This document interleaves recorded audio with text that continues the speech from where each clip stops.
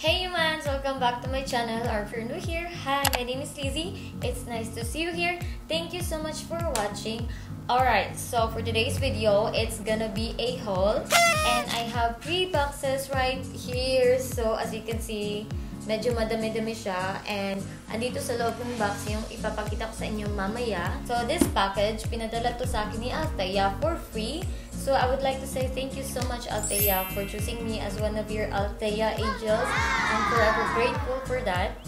And if you guys didn't know, Althea is a Korean website kung saan pwede kayong bumili ng mga K-beauty products. And you know what guys, super fan ako sa mga kutis ng Koreana kasi napaka-flawless, napaka-blooming, parang fresh lang sila 24-7. So masasabi mo talagang perfect na perfect yung skin nila. So if you're like me, or mahilig kayo sa mga Korean skincare and beauty products, then make sure na i-check nyo yung website ni Althea kasi super, super ma-enjoy kayo doon. And yung mga sikat at mostly ginagamit ng mga celebrity, nandun na lahat sa website nila guys.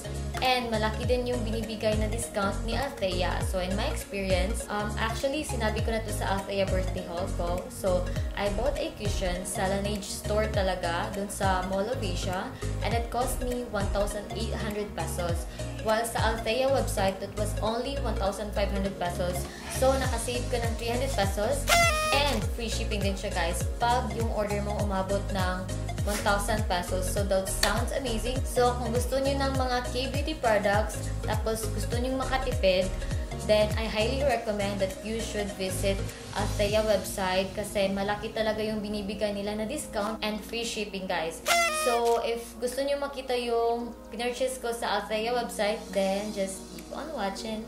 So, I'm going to start with this box. So, this one is their limited Christmas edition box sa Althea, guys. So, ang cute. So, yung first product na papakita ko sa inyo, guys, is gonna be a skincare. So, it's their aloe vera. It's 92% soothing gel mist. And it's from the brand Nature Republic. So, it looks like this, guys. So, it's actually my first time na gumamit ng gel mist kasi yung aloe vera na ginamit ko noon is hindi pa spray and I just discovered na ang daming influencer na gumagamit nito. Ang daming nagre-rave talaga nito guys. So, parang na-curious na din ako gumamit nito because I really love aloe vera. Ang dami niyang benefit guys. It's very multifunctional and sobrang hiyang na hiyang yung skin ko nito. So, as you can see, sobrang gamit na gamit siya sa akin.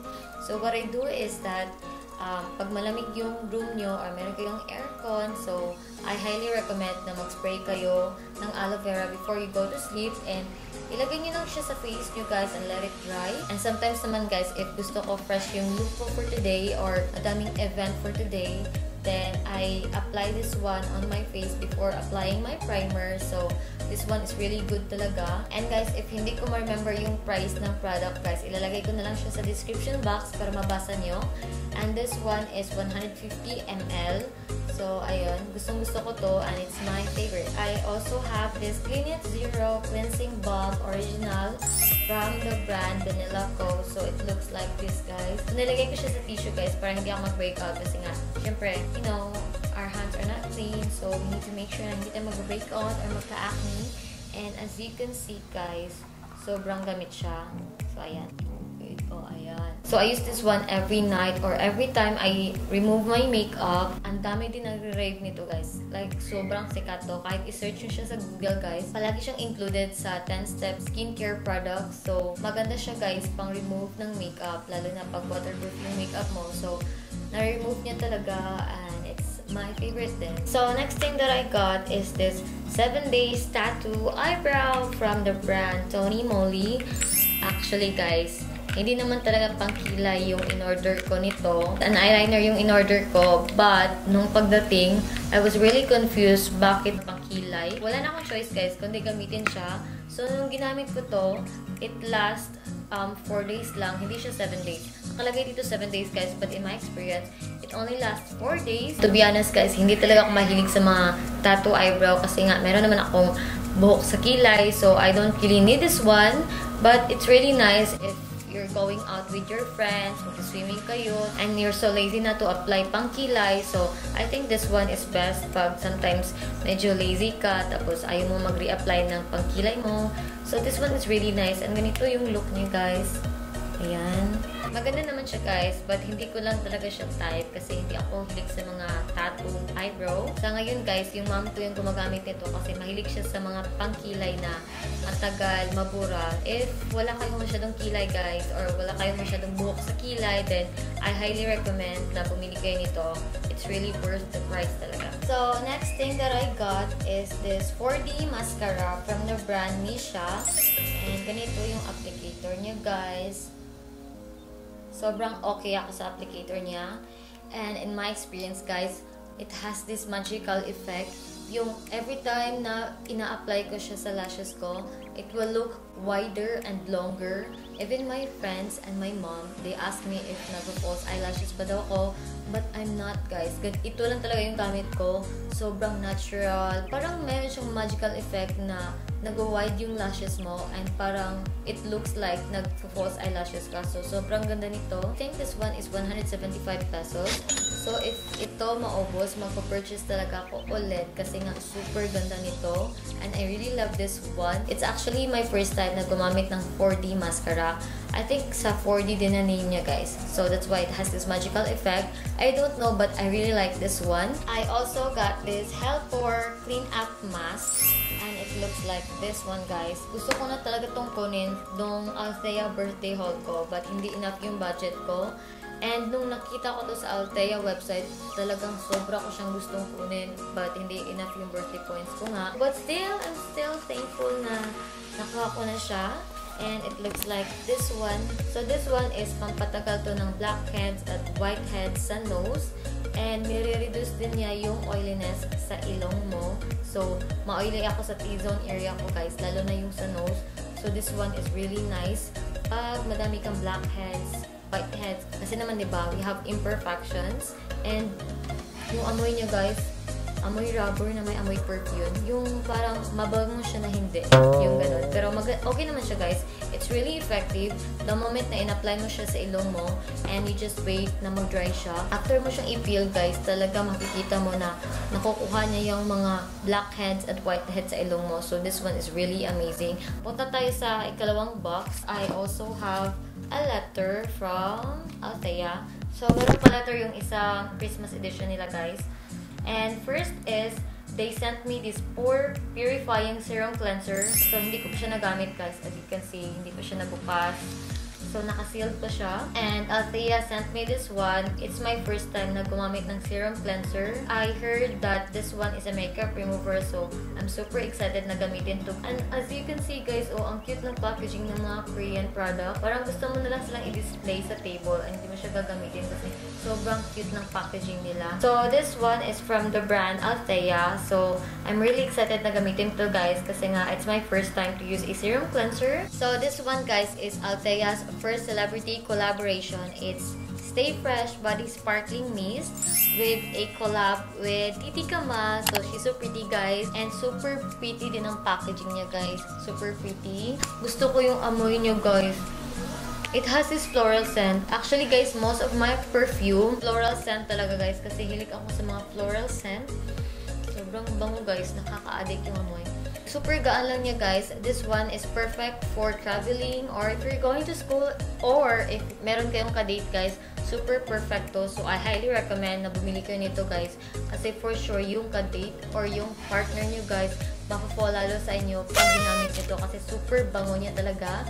And I really love this one guys. So last but not the least, so as you can see guys, magkaiba yung box. Kasi nga, this one is exclusive for Althea Angels. It's a welcome gift for me because I am now part of Althea Angels. So, first is, they sent me a letter. So, lahat ng box, guys, naglalagay sila ng letter, nagsasend sila ng letter for Althea Angels. So, hindi ko na siya babasahin. And next is, I got this makeup kit or like pouch na pink. So, it looks like this one, guys. It's color pink nga, and it says, spread your wings, and says here, angels. So, medyo madami siyang malalagyan guys sa loob. So, this one is perfect for makeup travel kit, or maybe pang travel na din. So, it looks so nice. And I also got this one. And what's this? Oh, ito guys. Ah, ang cute. It's a mirror guys. And it says, spread your wings pa rin. So, it looks like this. So, ang cute niya guys. So, actually, nagamit ko na to ilang beses sa video ko na in-upload ko sa YouTube channel ko guys. Ayan. Maganda siya guys. So, I also got a milk peel. It's a cream mask. So, it looks like this. Actually guys, nagamit ko na to siya mga apat na beses ata. And Actually, ang ganda niya sa face, guys, pag ginagamit mo siya. Parang every time I use this one and after washing my face, it has this milky scent, guys. Sobrang smooth din yung face ko pag ginamit to. But, to be honest lang, nagbe-break out ako every time na ginagamit ko to. So, nag-stop ako gumamit ito. But, ang ganda lang talaga niya, guys. Actually, I'm planning to give this one away. Kasi nasasayangan ako kasi wala din gagamit nito. I really don't know. Just comment down below if gusto niyo to. And, next is I also got this 3 translucent powder or this petal velvet powder pala from Althea.